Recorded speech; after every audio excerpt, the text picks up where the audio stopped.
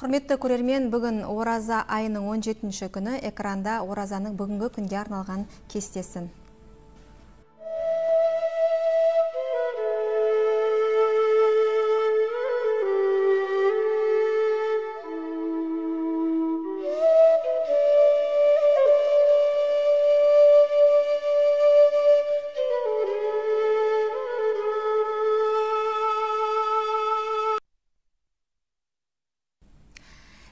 Эфирде қайырлы күн Қызылорда бағдарламасы бүгін халықаралық театр күні.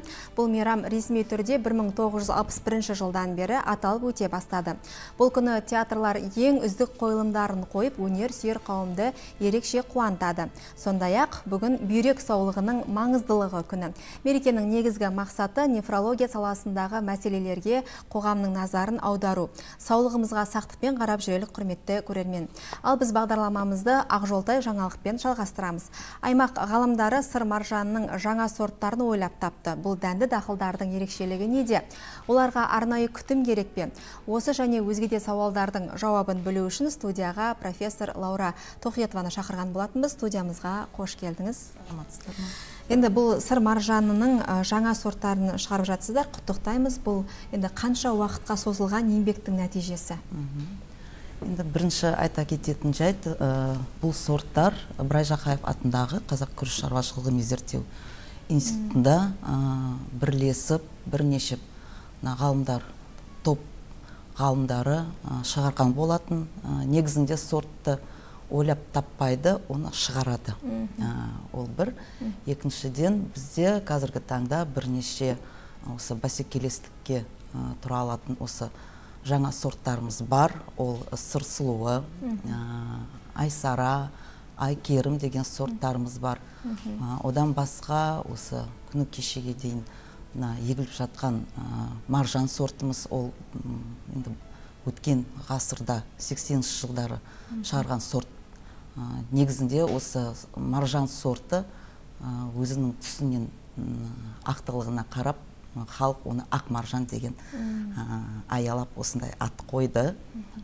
Енді ерекшелігіне кететін болсақ айтатын болсақ мысалы сұр сұлу сорты осы басқа ресей украина сорттарымен салыстырғанда ол 10-15 күн ерте піседі. Және айсара сортымыз ол оның ерекшелігі дәннің ұзындығы. Мысалы күріштің бірнеше түрлері бар. Японика деп айтамыз индика деп айтамыз. Негізінде дәннің ұзындығы ол индика түрлеріне сай. Бірақ оның өзінің кемшілігі осы ол тропикалық дақыл болғандықтан қызылорда облысына әкелген кезде осы жақта егілген кезде ол піспей қалады. Өйткені оның вегетациялық кезеңі өте ұзын.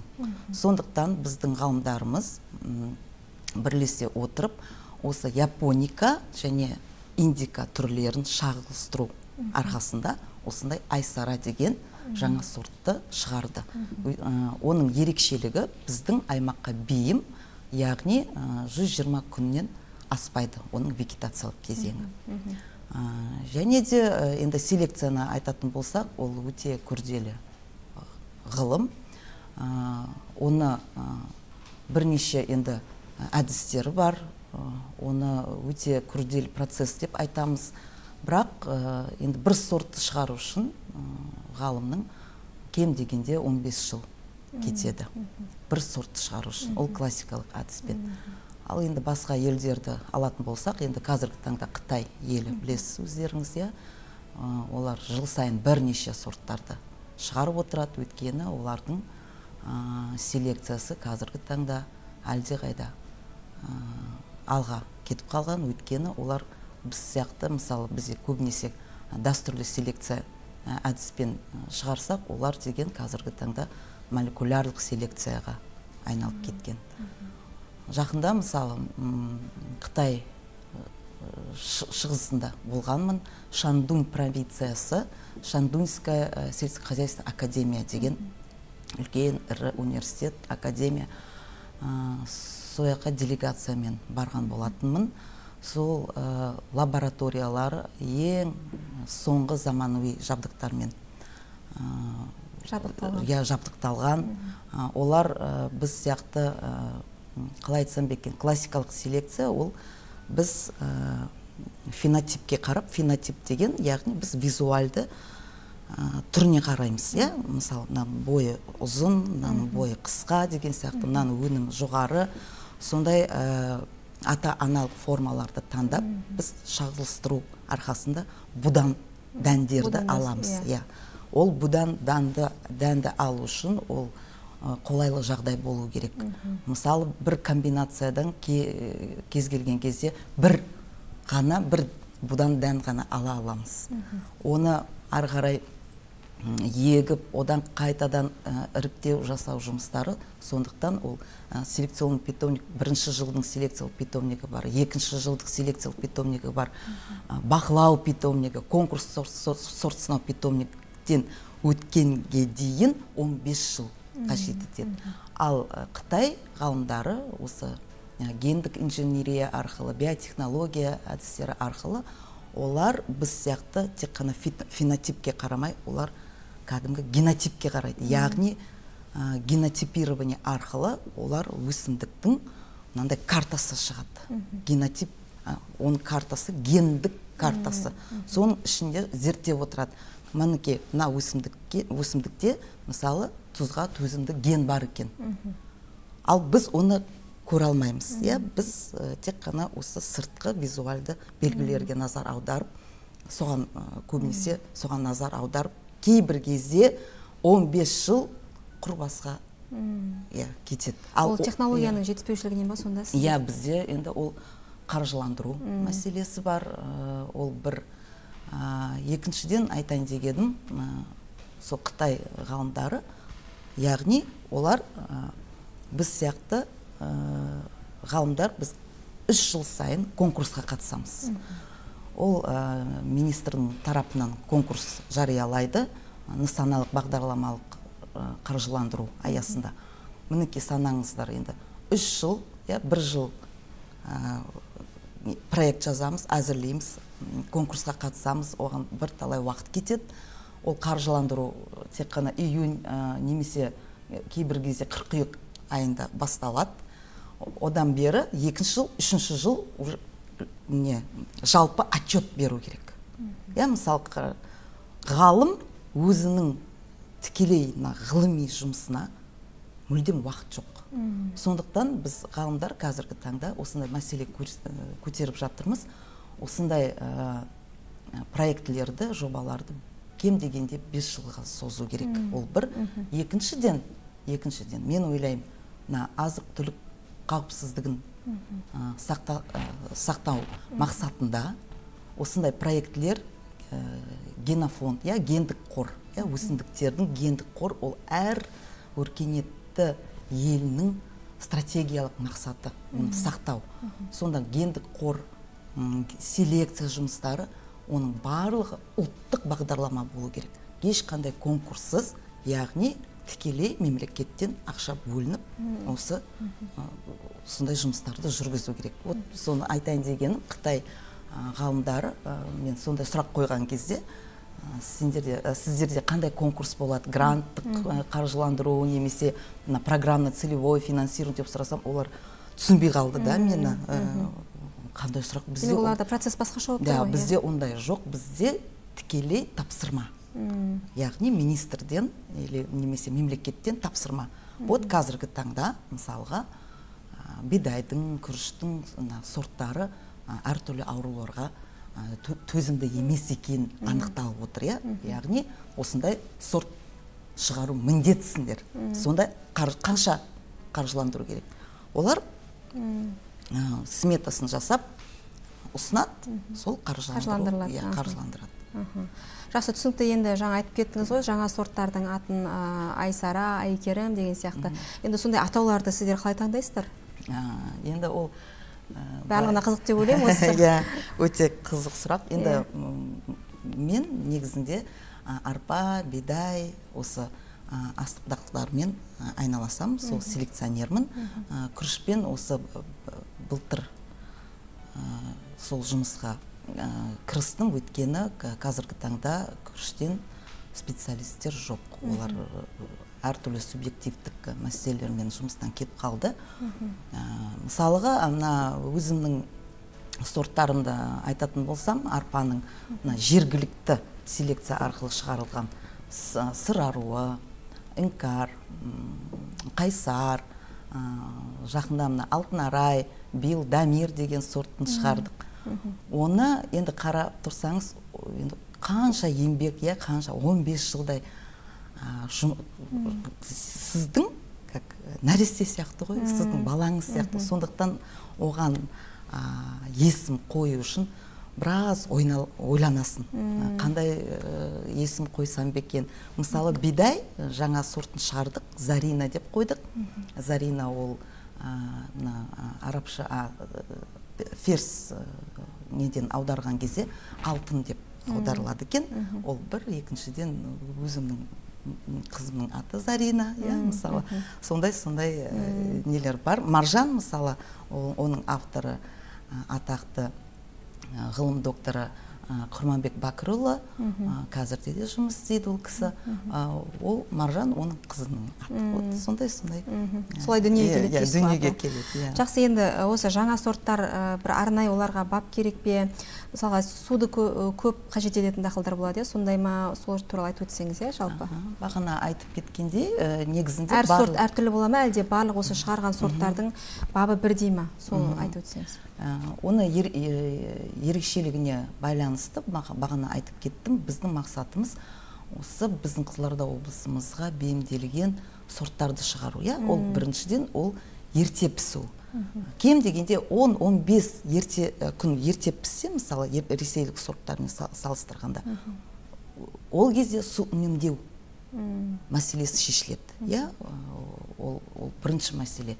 Яғни қазіргі таңда өздеріңіз білесіздер су тапшылығына байланысты күріш алқабын төмендету керек иә сондай мәселелер қозғалып не үшін керек қажет емес деген әртүрлі пікірлерді естіп жатырмыз. Бірақ қызылорда облысында күріш міндетті түрде егілу керек. Мүмкін бір күріш ауыспалы егісіндегі схемасын шамалы өзгертіп күріш үлесін шамалы қысқартсақ бірақ күрішті қалдыру керек. Жақсы. Енді өзіңіздің жетекшілігіңізбен жаңа арпа бидай сұлының стресстік факторларға төзімді сорттар жасалды деп айтып жатыр. Енді стресстік фактор деген бұл жерде қалай түсінуге болады? Негізінде қызылорда облысы енді бірегей бір фон деп айтуға болады. Табиғи фон. Өйткені кейбір ғалымдар мысалы алматы облысын алматыны алатын болсақ олар өздерінің неде зертханаларда мысалы тұзға төзімді деген сорттарды шығарады иә. Бірақ оларда ондай табиғи фон жоқ. Олар жасанды түрде сондай фон жасайды иә. Яғни натрий хлорид несін, несін алып оны ертіп соның ішінде өсіреді. Ал бізде табиғи фон иә. Ол оны неге мен айтып жатырмын? Өйткені ол мына ғалымдарға өте қызығушылық тудыратын аймақ. Ол бір. Мына біздің мына арпа бидай сорттарын неге біз осы жергілікті селекцияны ұйымдастырдық? Өйткені о баста 2001 жылдан бастап ол кезде су тапшылығы мәселесі ондай бір өзекті мәселе болмаған. Бірақ біз мына қытай ғалымдары басқа мемлекеттің ғалымдары сол кезде осы 2030 жылға орай су тапшылығы үлкен өзекті мәселе болады деп болжам қойған. Сол кезде біз 2001 жылы сол ыбырай жақаев атындағы күріш шаруашылығы ғылыми зерттеу институтында тек қана күрішпен айналысады деді ол кезде мен аспирантураны бітіріп қазақ егіншілік өсімдік шаруашылығы ғылыми зерттеу институты сол жақта мен арпа селекциямен айналысқанмын сонда мынандай бір идея келді да неге осы арпа бидай сорттарды осы жаққа әкелмеске осы күріш ауыспалы егісіне неге бүркеме дақыл ретінде енгізбеске деген сұрақ туындады туынды менде. Сол кезде біз мына алматы облысынан сәуле жұлдыз бота арна бірнеше сол алматы облысына бейімделген сорттарды әкелген едік.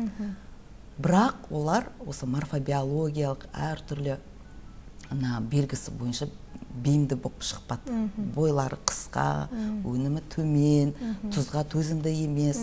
Сол кезде ол 2001 жылы біз әлемдік коллекциясын жинап 2001 жылы 2002 жылы будандастыру жасап бірнеше будандық гибридтік популяцияларды алып соны соның ішінен іріктеу жұмысын бастадық.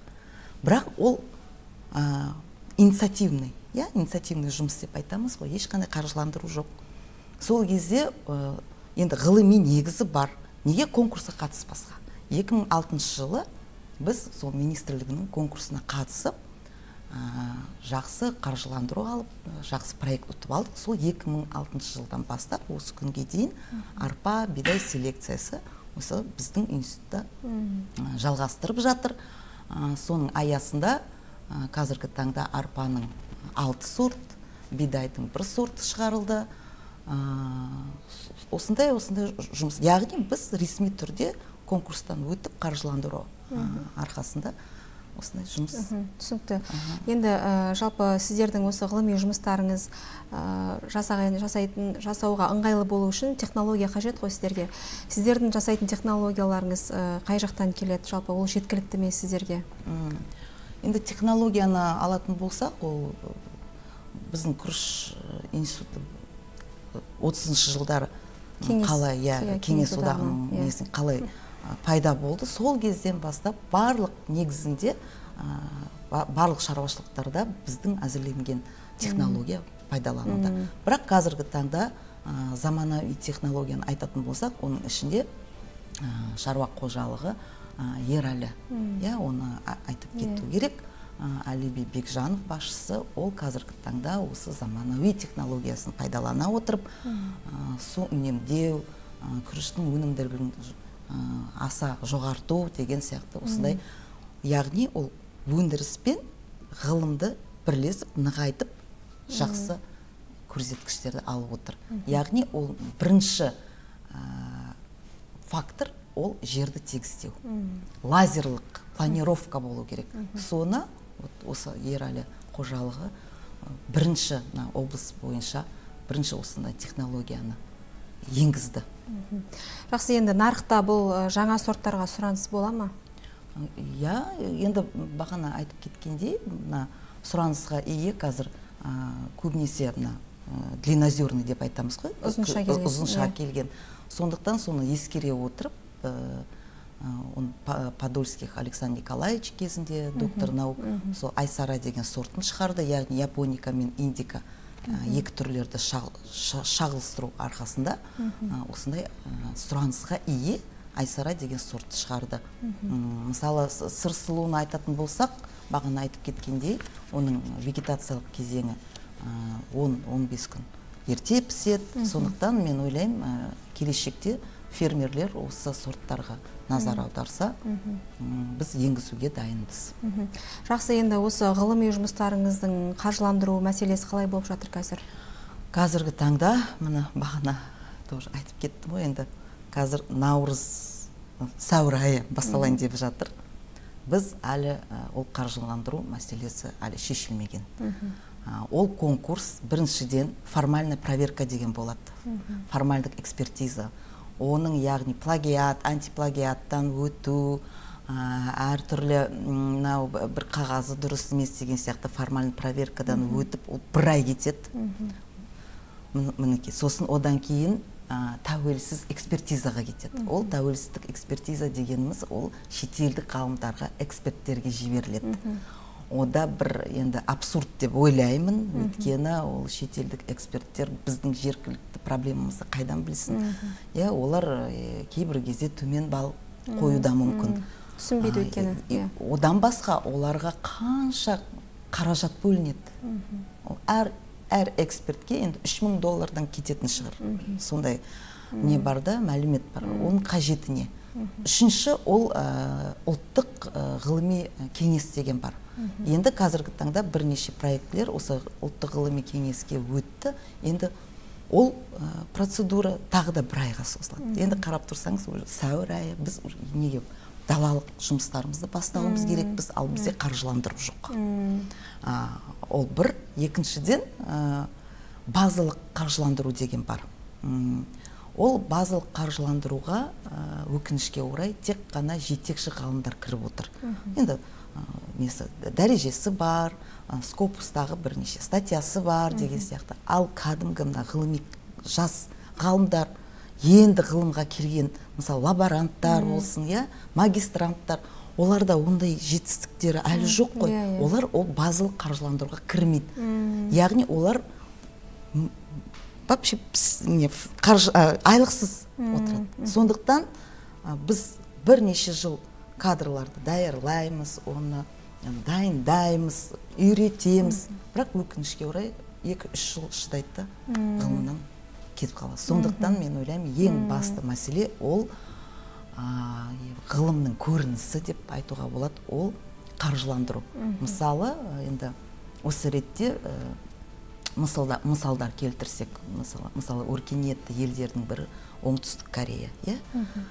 Оңтүстік кореяда мың тоғыз жүз тоқсан бірінші жылы осы ғылымға бөлінетін қаржысы бес жарым миллиард доллар болған екен. Ал қазіргі таңда ол жалпы ішкі өнім деп айтамыз ғой внутренний валовый продукт соның бес пайызын құрайды. Яғни қазіргі таңда 15 миллиард доллар бөлінеді екен. Яғни жалпы ішкі өнім дегеніміз яғни бес пайызы ол деген үлкен көрсеткіш.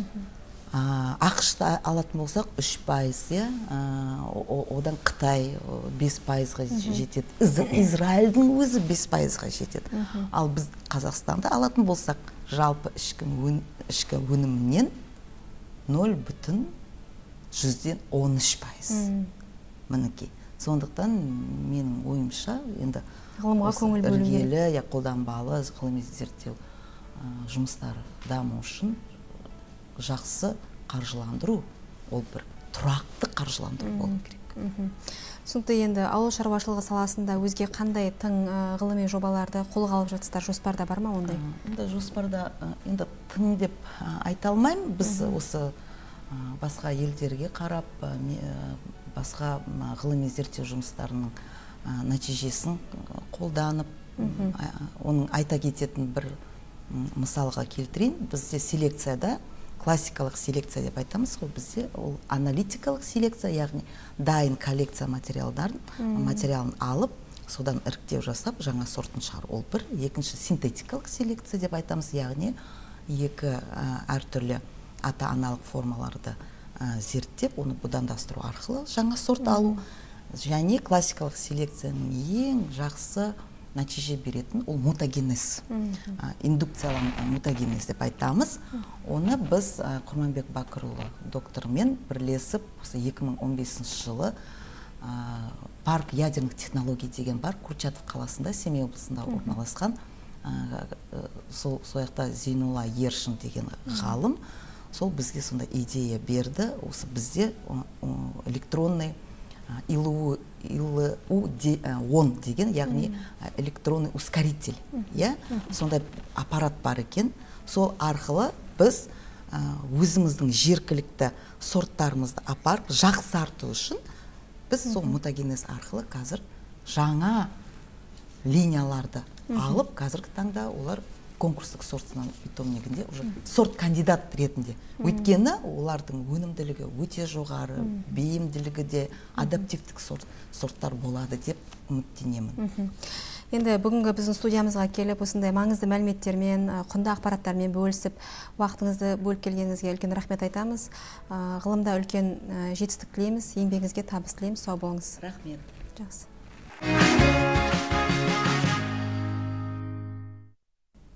Тікелей эфирде қайырлы күн қызылорда бағдарламасы бүгін халықаралық театр күні.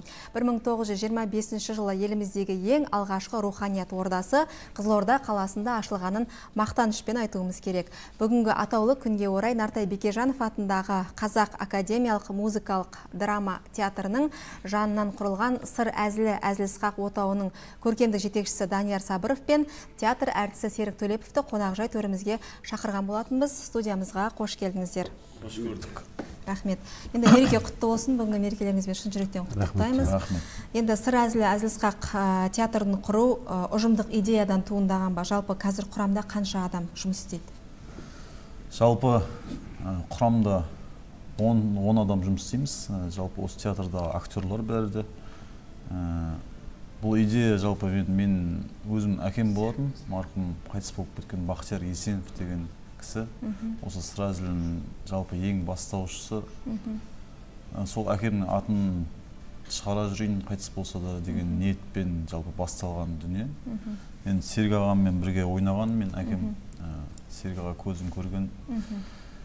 Содан бастап жалпы содан бастап жұмыс істеп келе жатырмыз енді аллаға шүкір құдай қаласа бір күні концертіміз бар. Иә. Бәріміз одан құлағдармыз енді жақында ғана осы концерттеріңіз ұйымдастырылады ғой. Соған дайындық қалай жүргізілуде? Жалпы көрерменді қандай қойылымдармен қуантпақсыздар? Қазір енді ә, бәріміз жақсы дайындалып жатырмыз. Бізде қинайтыны қазір бізде жаңағы сатира жазатын ақындардың аздығы ә, материал жоқ. Сосын соны жаңағы өзіміздің басшымыз мұхтар мәуленовның жаңағы ақылын айтады мына жерін бүйтсек мына жерін бүйтсек деп. Сосын өзіміз көшеде көргенімізді біреуден естіген әңгімемізді соны өзіміз толықтырып қосып бірақ енді бәрібір ақынның жазғанындай болмайды да. Сол сатираны маманның жазғанындай болмайды. Сондай болып дайындалып жатырмыз. сондай қиындықтар. Бірақ енді жақсы дайындалып жатырмыз. Біріне күтеміз үнемдеріміз жақсы. Жалпы құдай қаласа бірінші сәуір күні күтеміз. Жақсы. Енді қазір ә, көрерменнің талғамы өте жоғары ғой. Иә. Өте жоғары болып кетті. Халықтың көңілінен шығып жаңағы жоғары бағасын алу үшін актерлардың актерлық құрам да жақсы болу керек. Жалпы қазіргі сіздердегі актерлық құрам сахнаның сынынан өткен мамандар ма? Жалпы кімдер сіздердің? Бұрын қай жақта жұмыс істеген деген сияқты. Жоқ біздегі актерлік құрамда жалпы айтқанымдай бір он адамдай бармыз. Енді серік ағамыздан бастап серік ағамыз бәрі осы театрдағы жалпы актерлар бәрі де ә, 15 жыл 10 жылдан тәжірибесі бар актерлар. Жалпы енді біз спектакль ойнаймыз ғой енді. Иә, иә. жалпы қазір біз осы әзіл сықаққа бүйтіп бүйтіп өтіп жатқан жайымыз бар енді. Сол спектакльде ойнап жүрген әртістер Иә, ғой. солардан жарақталған. теріп теріп жастары бар. Сосын үлкендерден мен бар мен қырық жылдан астам театрда жұмыс істеп келе жатырмын ғой соны жастардан теріп сосын қазіргі ә, заманның талабы сол жастардың жастардың әзілі бөлек. Олар қазір Иә. біздің кезіміздегі иә. әзілден гөрі біздің кезіміздегі әзіл тыңдағысы келмейді қазір. Жастардың әзіл қысқа әрі басқаша Жеңіл. Халыққа жеңіл жету керек, иә. біздерді оқытқанда біздерге үйреткенде оқытқанда әзіл айтатын әзілдің басы болу керек о- аяғы болу керек. Сосын сол әзілмен көрерменге не айтасың? Не дегің келіп тұр көрерменге дейтін еді? Қазір ондай жоқ. Ә, сондықтан жалпы бәрі бір осы топ қылып шығарып жатырмыз. бәрі осы театрда қызметте жасайтын актерлар бәрі кәсіп. Сырттан ешкім жоқ. Сырттан ешкім жоқ бәрі оқыған тоқыған. Бәрі өнер институтында Аха, түсінікті. енді қазір жаңа айтып кеттіңіздер ғой нақты автор жоқ деп иә? Енді өздеріңіз құрастырып жатырсыздар ғой қойылымдардың авторлары өздеріңіз. Иә өзіміз Иә. десек те болады. Солай болады иә. барлығы өздеріңізден иә Иә. жалпы. Мхм. енді алда қандай тағы да жоспарларыңыз бар солармен бөлісіп өтсеңіздер? Алда құдай қаласа ә, концерттен бөлек ә, алла қаласа 14 мамырда ақтөбеде айтқыштар алаңы деген нұрлыбек жұбатқан ағамыздың фестивалі өтеді. Құдай қаласа сонда барамыз деген ниетіміз бар. Енді жаңағы күні әлі белгісіз болып жатыр. Енді 14-те 16-сы болады деді. құдай қаласа сол план Оның алдында жоспарымыз сол. сол ақтөбе қаласына барып айтқыштар ақтөбе деген конкурсқа қатысып алдында бірінші барғанымызда бас жүлде одан кейін бірінші орын алып қайтқанбыз. Өте керемет. Иә осы жолы да барып жеңіспен қайтамыз ба деген ойымыз бар. Жаңа балдарыммен кішкентай шәкірттеріммен барып. Ә, сосын келгеннен кейін біздің өзіміздің қызылорданың аудандарын аралап шықсақ па деген ойымыз жалпы аха аудандарды аралап шығасыздар сосын басқа еліміздің басқа қалаларына басқа қалаларына жақсы рахмет. Енді жұмыстарыңызға сәттілік тілейміз. Сіздерге шығармашылық табыс тілейміз. Бар болыңыздар бақуатты болыңыздар.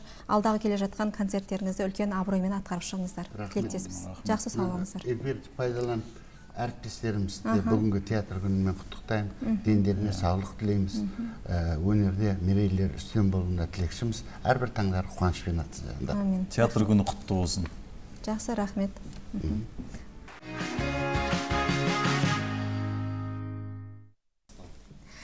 Тікелей эфирде қайырлы күн қызылорда бағдарламасы. Осыған дейін көпшіліктің көңілінен шыққан қара аула яғни черный двор сериалының режиссері диас бертіс ә, міне үкім фильмін көрерменге ұсынып отыр. Картинаның негізінде ыстықкөл жағалауындағы шағын қалада 2000 жылдардың соңында болған нақты оқиға жатыр. Бүгін студияға аталмыш фильмнің режиссері диас бертіс пен актер рауан ахметов келіп отыр. Студиямызға қош келдіңіздер. Саламатсыз ба? Сыр еліне жалпы қош келдіңіздер көңіл күйлеріңіз қалай? Сыр елі сіздерді қалай қарсы алып жатыр? Ә, керемет керемет ә, керемет ауа райымен қарсы алып жатыр. Себебі біз екі сағат бұрын жаңа астанадан қондық ол жер салқын. Күн тамаша жылы. Керемет ә, келе салысымен жаңағыдай бір қызылорданың өзінің бір желі бар ғой. Сол желдің лебін сезгеннен кейін ә болды оңтүстіктеміз деді Аха, жақсы. Өздеріңіз жалпы қай жақтың тумасыздар? Ә, мен қарағанды қаласынан. Сол жақта өсіп өнгем. Бірақ қазір алматыда тұрамын. Мен шымкент қаласынан. Сіз өзіңіз де оңтүстіктен баласы иә. екенсіз ғой. Шымкент қаласынан иә бірақ алматыда бір бес жыл болды уже бес алты жыл болды. Оқып жұмыс істеп қазір. Түсінікті. Енді жалпы осы барлық кинотеатрлардан қазір көрсетіліп жатыр ғой үкім фильмі. Жалпы жаңа туындыны жұртшылық қалай қабылдап жатыр? Бағасы қалай болып жатыр бұл киноның? Ә, ну, біз енді бәрін көріп үлгермей жатырмыз әрине. Бірақ ә, біріншіден инстаграмға келіп жетқан және достарымнан естіп жатырмыз. Ә, халыққа өте қатты ұнап жатыр. Ә, адамдардың жүрегіне жетіп жатқан сияқты арасында мысалы мен жолдастарым достарым звондайды. Ер балдар қарағандының балдары жылап яғни сен егер ер адамды жылата алсаң ә, жүрегіне жете алсаң кеше кеше как раз бір досым звондап көріп сүйектен өтті деп жылап звондады. Ә, яғни ол ә, киноның ең басты мақсаты ол эмоция тудыру ғой. Көрерменге эмоция сыйлау. Сол тұрғыдан ә, жақсы кетіп жатыр жақсы көрініп жатыр бірақ әрине енді ә, біз авторлар ретінде қалауымыз ә, неғұрлым көп адам көрсе себебі бұл жерде фильмде ә, дұрыс ә, посылдар бар. Яғни ә, көрерменге деген жеткізер ә, ойларымыз бар. Ә, және сол ойлар ә, неғұрлым көп адамға жетсе нұр үстіне нұр болады. өте жақсы. Енді кино жалпы қазақстандық және қырғызстандық кинематографистердің бірлескен жұмысының нәтижесі иә? Оқиға желісі туралы айтып берсеңіз жалпы идея қалай туындаған? А, бұл идея негізі қырғызстандық оператор ә, жігіт ә, автандил батырбеков деген қара аула черный двордың оператор постановщигі. Қыста маған ә, осы идея жайлы айтқан болатын. Бұл жерде ә, кішкене сценарий басқа болды. Идеясын айтты сол уақытта черный двор уже шығайын деп тұрды. Апрель былтыр бір жыл бұрын көктемде ә, біз мен продюсерларға келдім. Осы идея жайлы айттық. Олар черный дворды көрді түсінді и сол уақыттан бастап ә, сценарийға кірістік. Яғни негізі идея бұл қырғызстандық жігіттердікі. Бірақ идея а сценарий жазылғаны мен ә, алматыда ален рахметалиев деген коллегаммен ә, сценарий жазып шықтық. А, шынайы оқиға негізінде иә иә. болған оқиға негізінде жасалған бірақ оқиға сәл басқаша болды. Бұл тоқмақ қаласы қырғызстанда. А, бозбалдар 18 жастағы рувд-ны яғни милицияны басып алған болатын. Сосын штурм кезінде а, қаза болады ол балалар. Вот сол, сол основаны біз сотқа өзгерттік. Яғни біздің фильмнің логлайны ә, ақтан өзінің досымен әділеттілік орнату үшін ә, сот ғимаратын автоматпен басып алады жақсы енді бұл ә, кино шынайы болған оқиғаға негізделгеннен кейін сіздер енді дәл сол оқиғаның басы қасында жүрген куәгерлермен немесе сол оқиғаға куә болған адамдармен бірінші кездескен шығарсыздар? Ә, жоқ жоқ бұл жерде мәселе ода емес. Ә, оқиға негізінде ол захват дейді ғой жаңағы басып алу қалды а қалғаны ол барлығы үшін ә, көркем фильмде. ол көркемдік дүние иә. Себебі біріншіден ол адамдарды ә, біз таба алмадық ол кезінде былай әңгіме болып жеткен дүние да. Ә, екіншіден ол адамдар ә, ешкім әрине ондайға туыс жақындар ондайға келісу келіспеу екі талай. Сондықтан бұл бұл жерде бастысы ол әділеттілікпен күрес Ә, және ә, жас балдардың әділе- ә, әділеттік жүйеге қарсы тұру. Сол фундаменті қалды а қалғаны енді ол көркемдік идеялар көркемдік иә көркемдік дүние. Жақсы енді рауан сіз бұл кинода ә, қандай рөл сомдадыңыз А, жаңа өзіңіз айтып өткендей ақтан деген Ақтанның персонажды иә. А, кейіпкерді ойнадым кейіпкерді сомдадым. Басты рөл. басты кейіпкер. Өте тамаша. Рахмет. Енді ә, рөлді сомдау үшін ә, енді ол кейіпкердің сол ә, бүткіл болмысына соның жаңағы қасиетін сезініп сол кейіпке ену керек қой. Енді осы рөлге дайындық барысында қандай қиындықтар болды? Әлде бірден осы рөлді алып кеттіңіз бе? Бір, бір бастағаннан былай айта кетсем болады. А, бізге бір бір жарым ай екі ай үш екі, ай бір жарым айдай уақыт берілді. А, сценарийді оқып а, талқылап та- талдап жіліктеп сөйту үшін бізге уақыт берілді. Біз үш айдай по моему мен мен сәл кейінірек кірдім. Кейінірек келдің иә иә бір екі жарым екі айдай менде максимум. А, иә үш ай үш ай үш ай. Болады Иә. жазда айттым ғой. Сонымен ә, сол оқып жіліктеп сөйткеннен кейін аса қатты қиын болған жоқ. Бірақ съемка басталғаннан бір ә, сол жақтың бір өз киесі бар ма сол жердің балықшы деген жаңағы рыбачой дейтін не ғой? Ыстық көлдің киесі. жел кәдімгідей жел тоқтам. Бірінші күні суық өтіп кетеді да тісім ісіп кетеді менің. Тісім ісіп кетеді да одан кейін съемканы иә тоқтат тоқтатып кәдімгі жексұрын болып ше арасында. Кәдімгідей андай сондай сондай болып қалдым енді. Енді ол профессиональный жаңағыдай көзқараспен қарасақ мен- менікі дұрыс емес ол жерде. Ә, сосын жаңағы бір, не, бір екі күннен кейін кетті ісігі қайтты одан кейін түсірдік. Жаңағы бір жігітіміз көлге құлап кетті. Мм. неше түрлі жағдай болды дейсіздер Иә. ғой иә иә. Көлге құлап кетті. Жаңағы операторымыз аппендицитпен а, неге жаңағы скорый помощьпен кетіп қалды. Иә. басқа оператор келді оның орнына басқа командадағы команда мүшелері қатарынан біреу почкадан біреу белден жаңағыдай система салып системадан система системадан система. Ә, соңында конъюнктивит болып әйтеуір сол проектті бітірдік. Бүткіл ауруды жинап алыпсыздар Иә, иә. съемкалар білмеймін бір өзі сондай бір қиын мындай именно денсаулықтың денсаулық тұрғыда қиындау не болды негізі мамандығыңыз қандай сіздің? Менің мамандығым актер а, муз муздрама әртісі. Мен театральный неде оқығам. Жүргенов атындағы темірбек қарауыл жүргенов атындағы академияның колледжінде оқыдым. Жиырма екінші жылы бітірдім. Жиырма екінші жылы түлегімін. Он тоғызыншы жылы түсіп қазір заочный оқимын. Педагог актерға. А, солай. Жақсы енді киноға актерларды қалай таңдадыңыздар? Кастинг арқылы келді ма әлде Ә, бұрын бір киноларға түскен? Ну бұл жерде басты кейіпкерлер ә, рауан ахметов айбар дамир ә, бұл жігіттер кастинг то- кастинг болған жоқ оларға. Кастинг болмағандықтан бұры ә, сценарий оларға жазылды.